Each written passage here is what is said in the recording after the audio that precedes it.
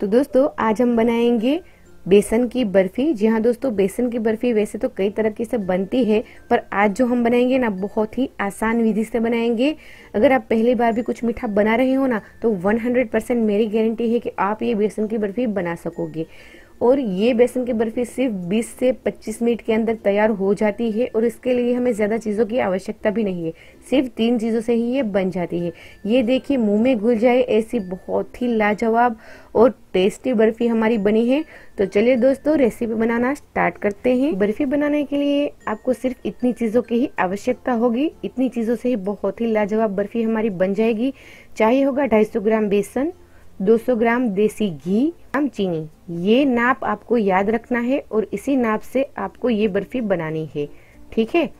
साथ ही मिलेंगे हम इलायची पाउडर स्वाद के लिए। अगर आपको इलायची पाउडर का टेस्ट पसंद नहीं है तो आप इसे स्किप कर सकते हैं। पर ज़्यादातर मिठाइयों में हम इलायची पाउडर ऐड करते हैं।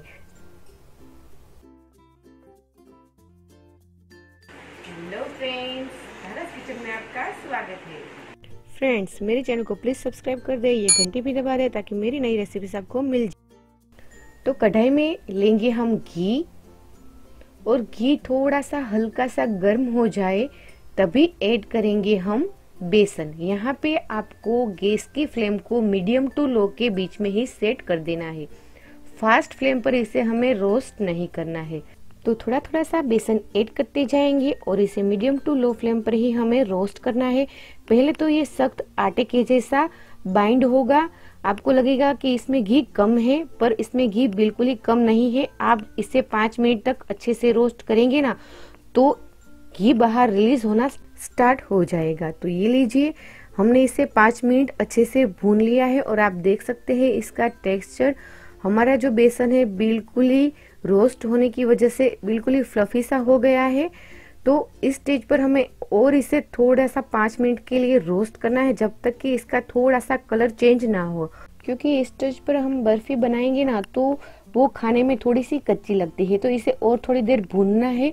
इसे हमें जलाना नहीं है। थोड़ा सा स्लाइटली कलर चेंज हो, थोड़ा सा ब्राउन कलर हो, तब तक ही इसे रोस्ट करना है। तो ये लीजिए। हमारा बेसन अच्छे से रोस्ट हो गया है और आप देख सकते हैं इसका टेक्सचर बेसन बिल्कुल ही फ्लफी सा हो गया है। तो अब इसे हम गैस को ऑफ़ कर देंगे और इसे हमें साइड में रख देना है। तो चलिए दोस्तों, तब तक बना लेते हैं हम हमारी चाशनी। तो कढ़ाई में लेंगे हम चीनी और चीनी में ऐड करेंगे एक कप भर के पानी। पानी आप यहाँ पर ज़्यादा ऐड ना करें। बिल्कुल ही चीनी डूबे, उतना ही पानी हमें ऐड करना है।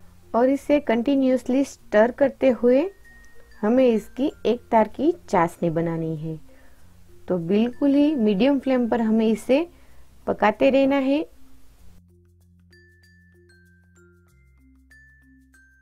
तो ये लीजिए, हमारी चाशनी तैयार है, ये चेक कर लेते हैं। तो थोड़ी सी चम्मच में चाशनी को इस तरीके से हम लेंगे। आप देख सकते हैं कि इस तरीके से ये चिपकनी चाहिए। दोनों उंगलियों के बीच में एक तार बनना चाहिए, ये देखिए। तो ये बिल्कुल ही परफेक्टली डन है। ये हमारी एक तार की चाशनी तैयार है। ऐड कर देंगे इसमें इलायची पाउडर। इसे चम्मच से अच्छे से मिक्स कर देंगे और ये लीजिए, हमारी चाशनी तैयार है। पर इस गर्म गर्म चाशनी को अभी हम ऐड नहीं करेंगे। इसे एक मिनट के लिए हमें साइड में रख देना है। जब तक हमारी चाशनी ठंडी हो रही है, तब तक हम हमारी प्लेट पर अच्छे से घी लगा लेंगे, जिससे कि हमारी जो बर्फ़ी है वो आसानी से निकल कर आ जाए। तो मोल्ड को हमें घी से ग्रीस कर लेना है।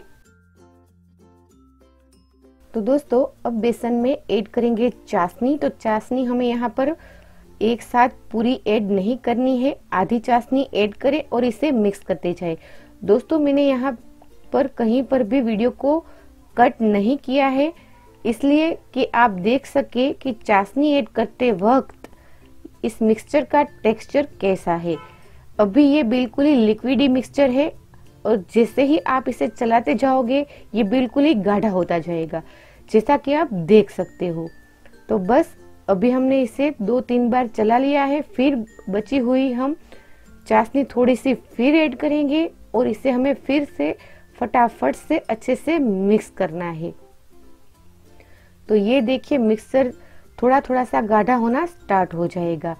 तो दो तीन बार फिर से मिक्स कर लेना है और बाकी बची हुई चाशनी हम फिर से ऐड कर देंगे। तो बिल्कुल ही सेम मेथड से भी आपको इस रेसिपी को बनाना है। तो बिल्कुल ही ऐसी लाजवाब बर्फ़ी आपकी भी बनकर तैयार हो जाएगी। तो ये देखिए सारी चाशनी ऐड कर देनी है और इसे हमें फिर से अच्छे से फटाफट से मिक्स करना है। यहाँ पर आपको हाथों को फटाफट से चलाना होगा, जिससे चाशनी अच्छे से बेसन के साथ मिक्स हो जाए। तो ये लीजिए, हमारा बर्फ़ी का मिक्सचर बिल्कुल ही तैयार है तो इसे हमें ग्रीस की हुई प्लेट पर ऐड कर देना है। आप देख सकते हैं मिक्सचर बहुत ही फ्लफी और स्मूथ है। तो हमारी ये बर्फ़ी भी बहुत ही सॉफ्ट और मुँह में घुल जाए, ऐसी बनने वाली है। तो इसे अच्छे से फैला दे।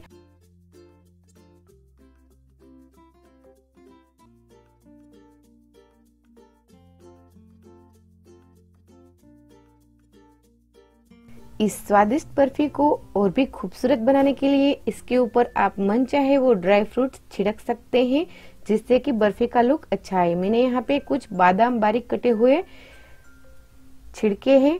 तो इसे हमें पूरी तरीके से सेट होने के लिए रहने देना है जब तक ये अच्छे से ठंडी ना हो जाए। तो एक दो घंटे बाद हमारी बर्फ़ी अच्छे से सेट हो गई है तो इसके हम कट्स लगा लेंगे।